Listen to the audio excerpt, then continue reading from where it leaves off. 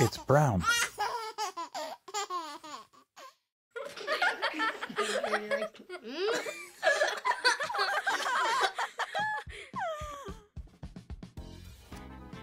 Welcome. I'm Hawaiian Shirt Pappa.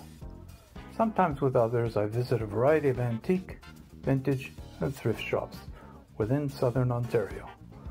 Sometimes we don't get anything. Come tour with me vicariously.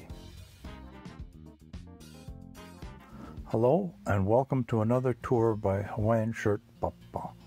This time it's of the Woolwich Community Service Thrift Shop.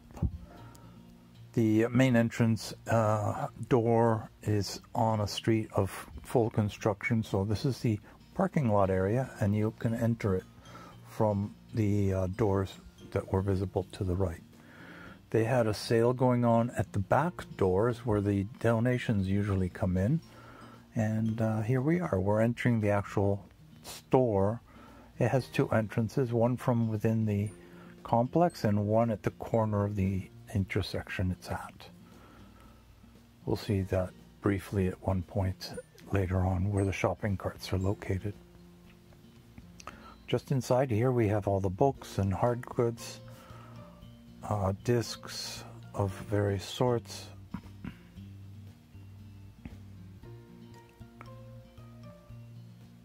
They had a lot of interesting things. Uh, not enough stuff for me to consider, but that's okay. I don't always come into these places knowing what I'm going to find, and sometimes I walk out with a few things that I've, I've chosen, and other times I do not. This is a very nice looking store. It's a, it looks like a new build. It's uh, oh, got some nice looking jewelry here in the case and some other costume jewelry as well. They have glassware, as most thrift stores do, the ceramics, possibly some porcelain.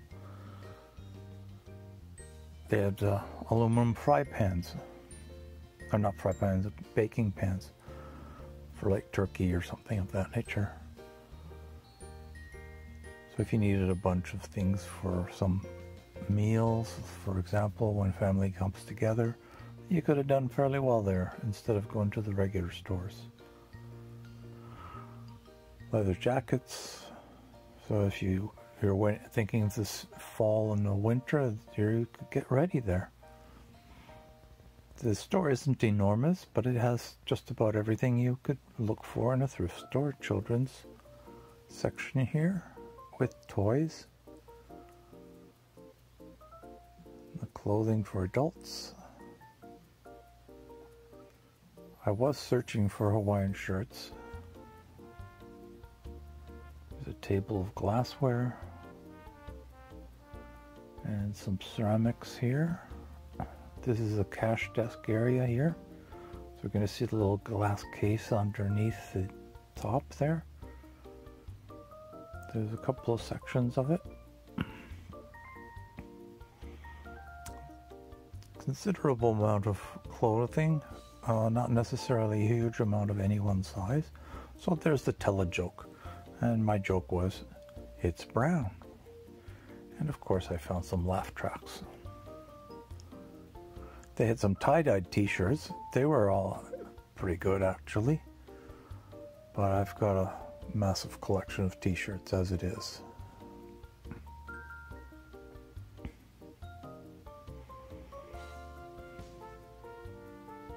No ramen, no life. Sounds like a university student donated that one. That's not bad. It's got some uh, rope cable design to it. The size wasn't particularly large. A nice collection of stars on that one. Not bad. They they could go for Hawaiian. There's a Hawaiian shirt for sure. Uh, it wasn't a very large one, so I wasn't particularly interested in that.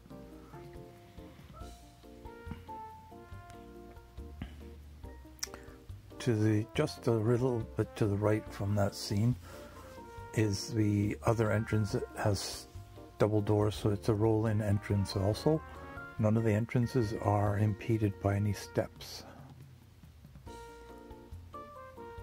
looking at fabric and sometimes the what I'm looking for has actually been misplaced in the wrong racking. So there's some more glassware to be examined, some seasonal equipment there, and other decor items. They had some flatware as well, or at least a box for flatware.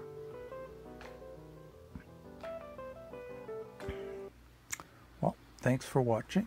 Hope you can consider subscribing, give us give us a like, and maybe even a tinkle on the bell so you'll be notified of the next one. Thanks a lot, folks. Bye bye.